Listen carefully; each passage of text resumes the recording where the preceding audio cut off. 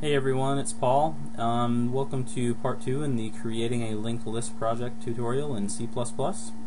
And in this tutorial, I'm going to be creating the public section of our interface uh, for the linked list class. So basically, in our public section, we're going to be declaring function prototypes and uh, the function prototypes are basically telling other parts of our program to expect functions with the parameters that we're going to give them.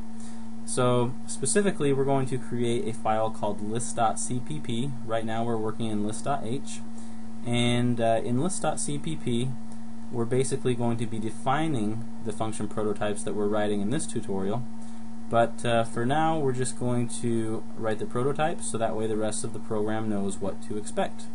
And these functions in the public section are going to be the functions that can manipulate the data, or basically these elements here, and uh, they're going to be able to manipulate all this data that is in our linked list, and we can access that through the functions. So we don't actually access this stuff right here in our um, main file, we can only access this information from our public functions.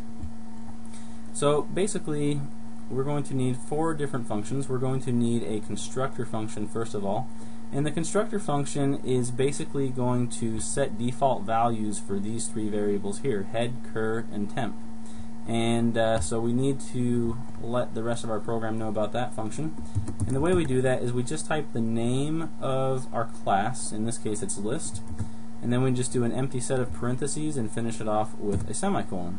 So that'll let the rest of the program know that we're going to basically set these initial values here once the list item is created.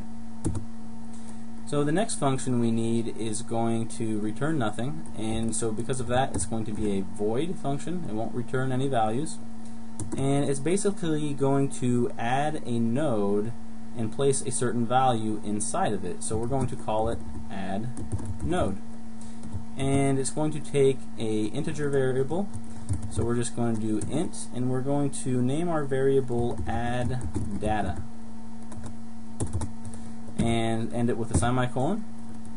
The next function prototype that we need to create is we're going to use a function that's going to delete a node and it's not going to return any data either so we're just going to type in void delete node and we're also going to have an integer variable go in this function. And so we're going to call that variable del data for delete data. So basically whatever the value that we pass into the variable delete data, that's what the, the delete node function is going to look for. It's going to go through the list until it finds some data that matches the value of, de, of del data and it's going to delete that node. So that's what uh, delete node will do. And then the last function that I'm going to show you guys is going to be a print function. So we're just going to do void. It's not going to return anything either. And uh, we're just going to call it print list. And it doesn't need to take any arguments, and we'll end that with a semicolon as well.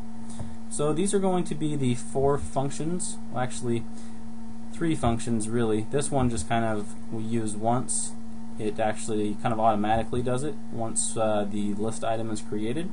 So really we're going to be manipulating these three functions. We're going to be using these three functions in our main program to test to make sure our list is working properly.